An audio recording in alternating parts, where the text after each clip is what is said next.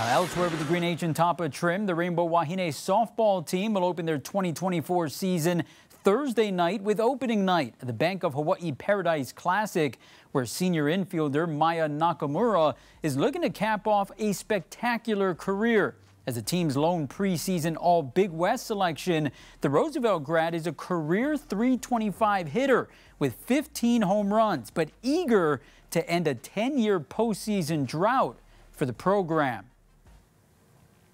I think as a team, our objective is always to do our best.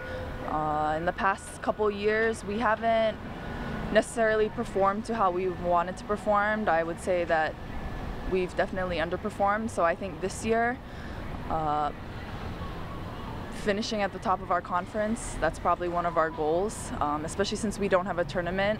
Uh, that's the only way we can make postseason. So that's what I want to see for our team. And then in terms of myself, um, there's always that pressure to perform better than the year before. Controlling what I control, something that I've realized that can only, you know, benefit me. So just staying in control, effort, attitude. Nakamura and the Rainbows will open the 2024 season Thursday night at 6 o'clock against former WAC rival Nevada. Stay with KHON2 Sports on air and online for continuing coverage all season long.